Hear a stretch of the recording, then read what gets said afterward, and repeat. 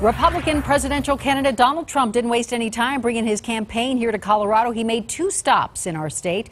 First in Colorado Springs, and then within the last 90 minutes, he just wrapped up his Denver visit at Wings Over the Rockies Museum in Lowry. And outside protesters with signs showed up, and Denver 7's Marshall Zelinger was inside the rally. And Marshall, a big crowd inside. Doesn't look like it right now because they're quickly taking the stage down. But let's get this out of the way. During his speech, Donald Trump blasted the media for never showing his crowds. A firefighter said there were probably about 6,500 people here. You can go to my Twitter page, 7 Marshall. Photos of the crowd. It is all there. And it was a hot and packed crowd here in Wings Over the Rockies.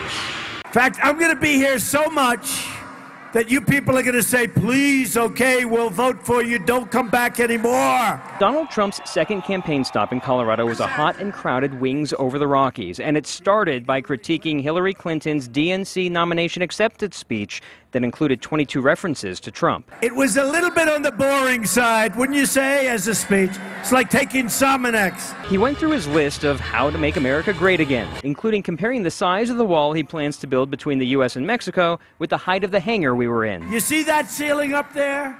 That's pretty high ceiling. Pretty much, we don't have to go much higher than that. He's going to bring us jobs. He's going to close the border. He's going to stop the terrorists from coming into this country. We met others in the crowd supporting Trump by default. Having an election to decide between people you don't like, what's that like? That's what we, that's what we've been given on our plate. We have to choose between two lesser of two evils. Sorry. Then there were Larissa and Kim from Fort Collins, who bedazzled their shirts with replica Trump hair. I definitely can stand behind yeah. most of what he stands for. We've never been to like a political rally or anything. I mean, this was awesome. We're going to get to say we saw the President of the United States. Go out and vote November 8th. Go out and vote. To Donald Trump's point of coming to Colorado often, I was told by a source to be on the lookout for Governor Mike Pence next week, perhaps. Something, I don't know, again, ironic or coincidental, at the end of the speech, just like the end of his RNC nomination acceptance speech, the song on the speakers was, You can't always get what you want.